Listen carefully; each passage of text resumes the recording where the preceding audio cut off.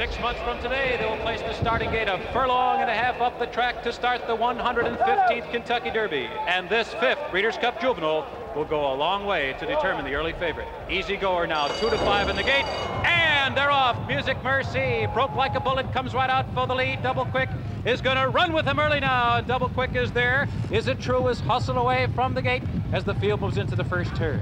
Is it true? And Double Quick down. Those two run at each other early. It's two lengths. Maher's red. Saving ground on the inside third. Music Merci is alongside fourth by two. Into Bucks came away in fifth position. And then it's leading prospect who's in hand racing in sixth. Easy Goer has settled in seventh place now. He's about eight lengths off the lead as they make their way onto the backstretch. The trailers are European Tegel, Dr. Bazaar toward the inside, and the early trailer is Mountain Ghost as they continue up the backstretch. Is it true on the inside?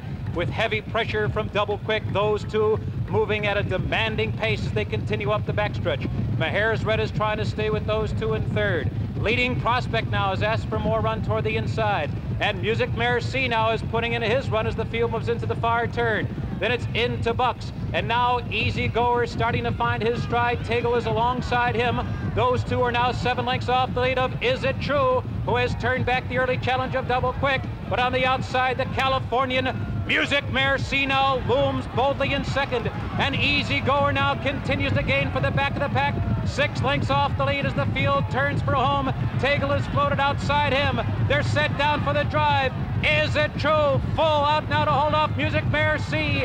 And Easy Goer looms boldly now, a threatening presence on the outside. They're in the final furlong. Is it true? Pincay all over him. Easy Goer closing on the outside, a 16th from home.